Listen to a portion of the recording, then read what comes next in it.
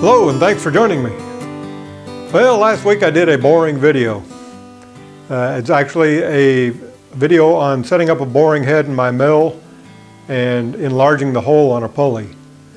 And in that video I used something my viewers have named uh, a chisel broach. You know, uh, a broach is what you cut a keyway with in a pulley and most of the time you have to press them through in some kind of arbor press or hydraulic press. And uh, this is not the easiest method to make a keyway, but if you just make an occasional keyway, it's a very economical way and feasible way to make a keyway. So uh, that's what we're going to do today. We're going to make a chisel broach and uh, let me show you what I've come up with so far. This is the one I used in my last video. It worked good. It was uh, basically my first attempt and I've used it several times before.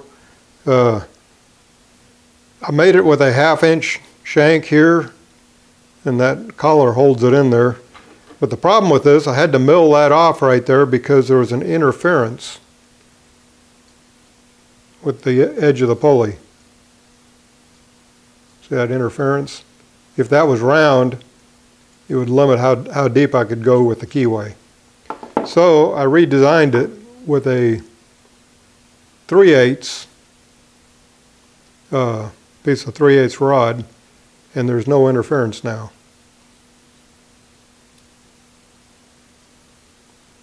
So that's what we're going to make today. Okay, here's our starting point. You start out with a 3 8 rod, three and a half inches long, and make a mark at two inches. Okay, the next step is to set it in your vise at an angle. And to do that, if the rod is three and a half inches long, this is what I've determined to be the right angle. Put a 10 thousandths feeler gauge under the one end Make it so it's just setting on that 10 thousandth feeler gauge here and flush with your vise here. And it's not extremely critical. If it was, I wouldn't be doing it like this. I think that's pretty good.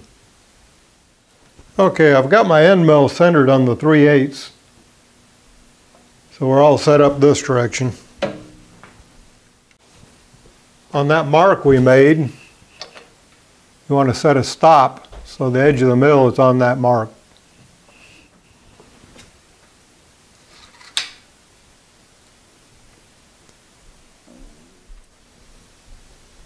Okay, now we're going to start milling up to that mark a little at a time.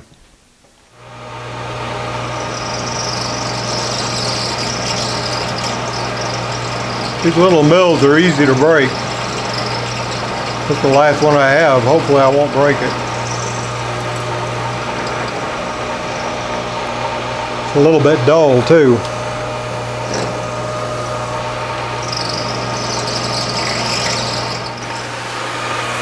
Okay, I'm just now touching the end of the stock right there. And I'm going to reset my DRO to zero. Now I want to go 120 thousandths deeper.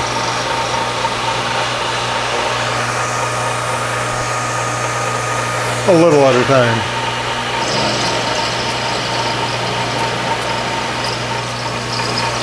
Okay, this is the final pass, 120 feet. And it's not real critical. None of this is real critical.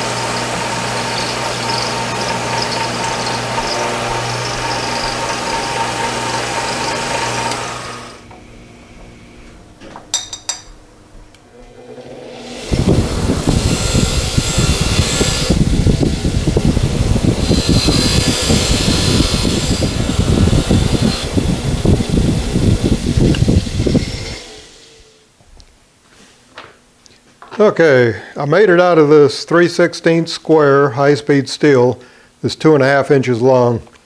Two and a half inches long seems to be a common length, and that's what it needs to be to work right with this broach. Now the angle on this end that I'm going to grind is just a, a bevel, but I use the factory angle. In other words, these come with a little bit of an angle on there. I just kind of dressed it up and sharpened it. But I'm going to try increasing that angle a little bit.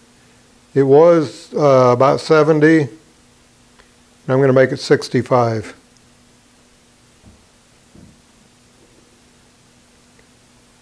And just see what that does.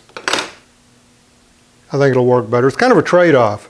If you make too much of an angle, it'll try to pull into the work and take too big a bite. If you don't make it enough of an angle, it'll just slide and not cut. So we're going to try 65 on that.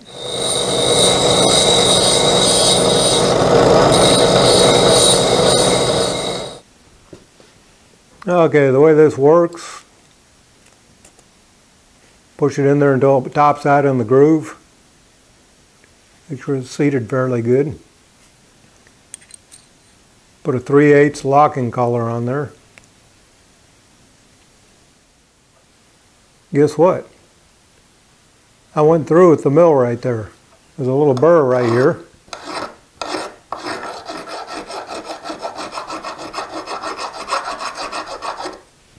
Mill just barely went through there. I went uh, 120 thousandths right there. Let's make that 100 thousandths.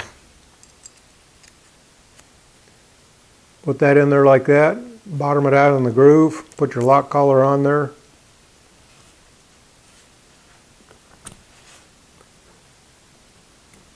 Now you can move it up here. It's better to have it down here if you don't need the depth. So that's a good spot right there.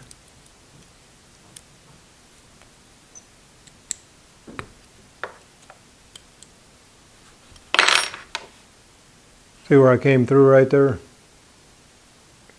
Just very slightly. You want to avoid that. So make it 100 thousandths deep there. Let's give this a try.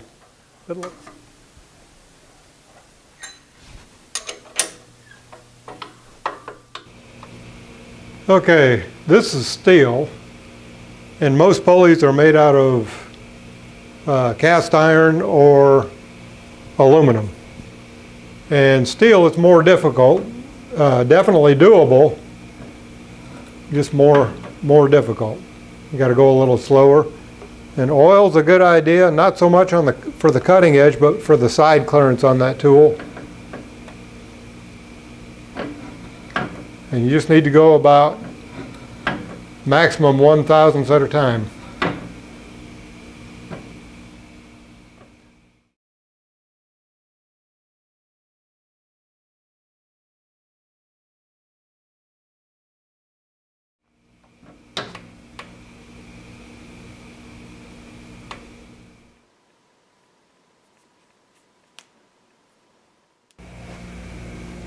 Okay, that more blunt angle worked really well. The sharper angle pulled the work into the chisel uh, or probably flexed this tool a little bit. But blunt definitely works better. So let's see what that angle is. I believe it's, yeah, it's back to the factory angle. Increasing the angle on that is a bad idea. Now if I measure this, a little differently. It's 15 degree angle on the end right there. Uh, that's measured from horizontal 15 degrees like that. Anyway, uh, I'll put a drawing underneath the uh, video so if you want to make one, eliminate some of the trial and error. And uh, thanks for joining me and be sure and subscribe and ring that bell.